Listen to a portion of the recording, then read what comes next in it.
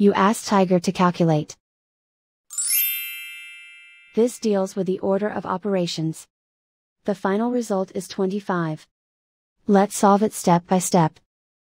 Simplify exponents and square roots.